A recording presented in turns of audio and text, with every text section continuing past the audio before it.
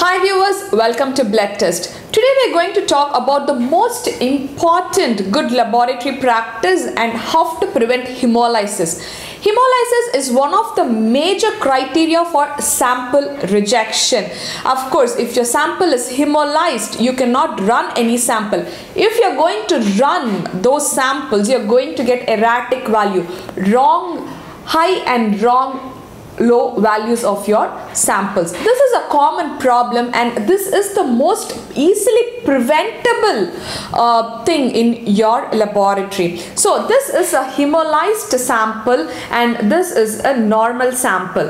If you see in a hemolyzed sample, this is a serum sample. This serum is red in color and if you see this is a normal sample or a normal serum which is not hemolyzed.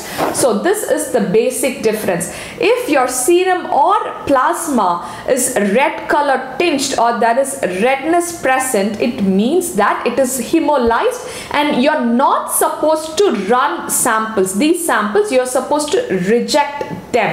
These are the samples in which you can run your test. So what happens here is there is due to some factors there due to some mistakes while phlebotomy or while processing your sample these are the only two ways where you get hemolysis.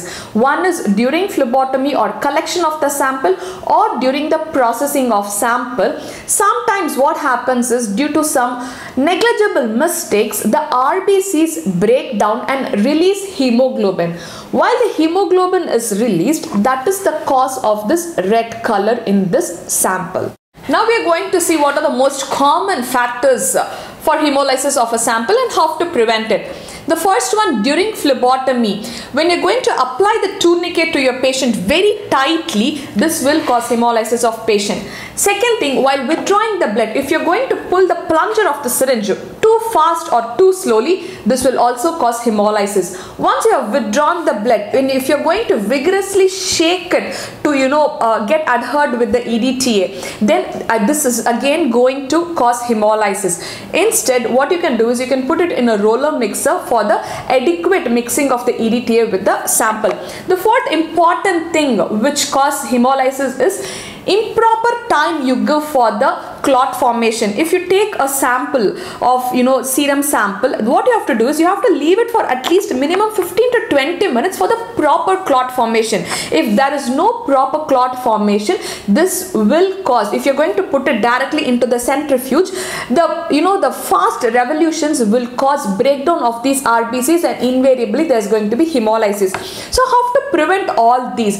The first thing how to prevent is, is once you have tied the tourniquet to your patient, make sure within a minute or two you take the blood from the patient. Second thing, do not take blood from any IV cannula. If the patient has IV cannula for some other reasons, do not take blood from them though it is a directly it is there in the vein. Third thing, once you have taken the blood, put it in a roller mixer and do not shake it vigorously.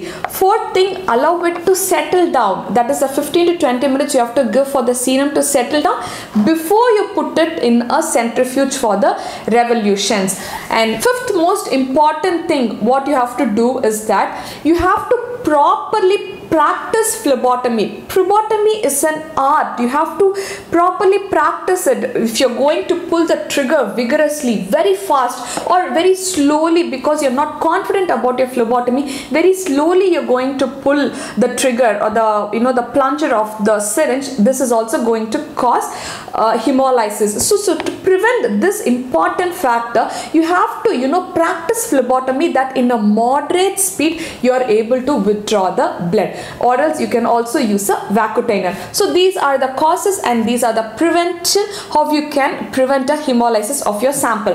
Now the most important thing if you have a hemolyzed sample and you're going to processes, you can get high values of potassium, TSH and because there is excessive breakdown of these RBCs you can also get, get false low values of ferritin and iron. These are the common tests which gets affected by hemolysis of blood. Not only these chemistry parameters the entire chemistry parameters can give you erratic report if you're going to run a hemolytic samples.